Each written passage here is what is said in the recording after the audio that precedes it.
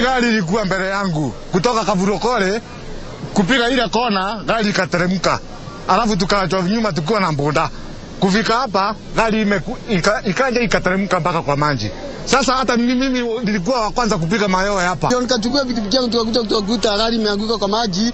Ndipo nikufika hapa nikakuta iko mama mmoja ndani ya maji na ana, anaongea ndio ndio nikam nikampindua kichwa ikaangalia juu asifute maji. Nikamwambia hapana jari tu nitakutoa. Ndio nikafungua mlango nikamtoa nikamtoa tukamvuruta akatoka nje. Ile gari pia imeweza kufungwa ya kwamba pengine katika mnamo wa asubuhi uh, utaweza kuweza ku kuitoa katika mahali ipo sasa.